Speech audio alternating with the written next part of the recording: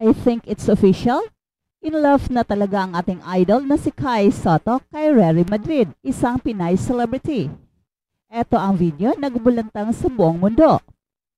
Kai Soto natagpo ang magkayakap si Rary Madrid sa pool. Is this worth a news? Well, hindi naman ito basketball. Hindi naman ito kasama sa kanyang NBA dream. Well, hindi man ito kasama sa basketball journey ni Kai. Dapat rin nating tinan kung ano ang epekto nito sa kanyang NBA dream. Kung ito ay makakatulong ba bilang inspirasyon o ito ba ay magiging balakid. Ilang ulit na ba tayong nakakarinig ng mga love story na humantong sa horror ending? At sana hindi ganito ang mangyayari kina Kai Soto at Rary Madrid. At gawin pa rin nilang priority ang kanilang mga personal dreams na matagal na nilang pinaghirapan. Si Kai Soto bilang basketball player at si Rere Madrid bilang artista. Subaybayan natin ang pagbabalik ni Kai sa Japan B-League na kung saan dito natin makikita kung positive ba o negative ang impact ni Rere sa kanyang NBA dream. Ika nga, for every man's success, there's a woman behind.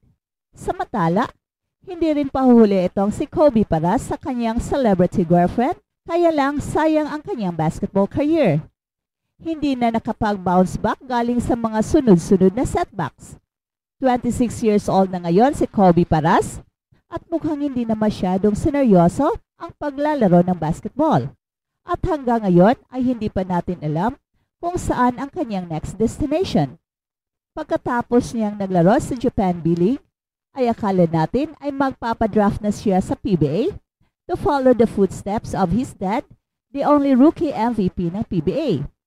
Sa mga hindi pa nakakaalam, si Kobe Paras ay katulad rin ni Kai Soto na akala natin siya na ang pinakaunang homegrown Pinoy na makapasok sa NBA. His game is suited talaga sa NBA at sa kanyang mga laro sa US ay nagpakita si Kobe Paras ng great promise at malaking potential. Pero nag-iba ang lahat nung pumasok siya sa USNCAA, playing limited minutes para sa Creighton University. Nabaon si Kobe sa bench at hindi na nakaalagwa ang kanyang karera. But life must go on. As of now, mukhang he is very happy and satisfied sa kanyang girlfriend. Sana nga lang hindi mangyayari kay Kai ang failed attempt ni Kobe sa NBA. Si Kai ngayon ang nagpapatuloy sa nabigong NBA dream ni Kobe. Sana nga lang ay ipagpatuloy ni Kai ang kanyang pangarap kahit gaano pa kahirap. Hey, hey, hey! Attention mga kapatrol! Get ready for an epic giveaway!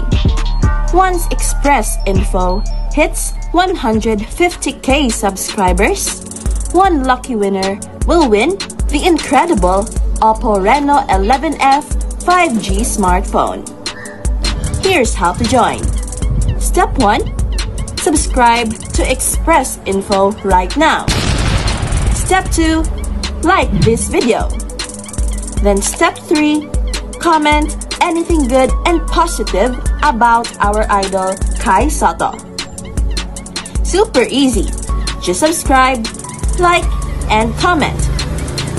At balitang NBA naman, maraming pag-uusap ang naganap tungkol sa opensa ng Los Angeles Lakers at kung paano ito gagana sa ilalim ng kanilang bagong head coach na si JJ Redick.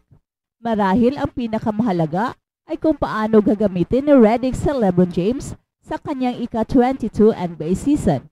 At nagbigay ng opinion sa Lakers legend Shaquille O'Neal kung ano ang dapat gawin at maging focus ni King James ngayong season. Ayon kay Shaq, dapat ipagpaliban ni King James ang pangunahing papel sa pag-score para sa mga kasamahan niyang sina Anthony Davis at Austin Reeves. Sa halip na maging pangunahing scorer, iminimkahi ni Shaquille O'Neal na dapat ay tutok si LBJ sa pagbibigay ng suporta at sa paggabay ng kanyang mga kapwa players na magbibigay daan sa kanila na mamuno sa pag-atake ng opensa. Ang passing at court vision ang pinakamalakas na aspeto sa laro ni LeBron James at may ilang mga player sa kasaysayan ng liga na may ganitong antas na vision at kasing laki din niya.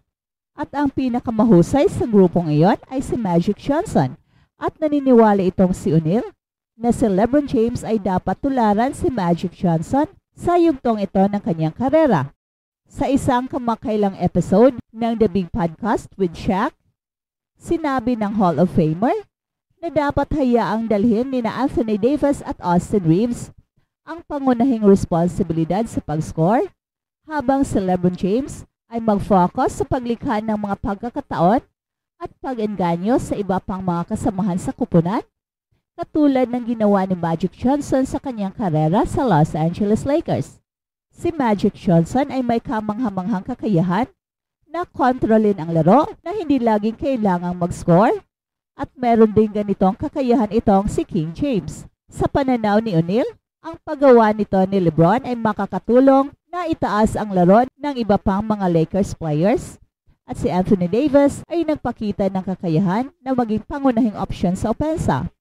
Bagaman ang ideyang ito ay maaaring hindi tumugma sa plano ni J.J. Redick para sa Los Angeles Lakers na nagsalita tungkol sa paggamit kay Anthony Davis bilang sentro ng kanilang opensa at pagbibigay ng mas konting pressure kay LeBron James upang mag-operate ng higit sa off the ball. So tiyak na magkakaroon pa rin ng maraming pagkakataon itong si LBJ na baging mataas na antas sa facilitator kung saan kilala siya. Sa kabila ng kakulangan ng malaking pagbabago sa off-season, nananatiling tiwala si LeBron James sa kakayahan ng kanyang koponan na Los Angeles Lakers na makipagkompetensya para sa kampyonato. Ang pagiging tunay na point guard ni LeBron para sa Lakers ay maari ang kanilang pinakamahusay na pagkakataon upang maangat ang laro ng iba pang mga players at ilapit sila sa pagiging contender para sa championship. Habang si Jimmy Butler ng Miami Heat maninilat sa Eastern Conference. Dalawang buwan na lang bago ang 2024-25 NBA season, inilagay ng analyst sina Jimmy Butler at ang Miami Heat bilang 8th placer sa Eastern Conference pagdating sa playoffs. Papunta na muli sa play-in ang team ni Coach Eric Spoelstra. Loaded ang East sa defending champion na Boston Celtics, Philadelphia 76ers, New York Knicks, Indiana Pacers, Milwaukee Bucks, Cleveland Cavaliers at Orlando Magic. Play-in teams din ang Indiana Pacers, Atlanta Hawks at Chicago Bulls. Pero kung makakaiwas sa injury itong si Jimmy Butler at dati pa rin ang dominasyon ni Bam Adebayo, Dark Horse ang Miami Heat na gumitgit sa top 6. Six Man of the Year noong 2022, si Tyler Hero, kaya hindi na matatawaran ang kalibre nito at baka sina Hero at Roycer ang magiging starting guards ni Coach Eric Spolstra. At mainam din ang pinakita nitong si Jaime Hackes Jr. sa kanyang rookie season at mas malamang siya ang mangunguna sa second unit.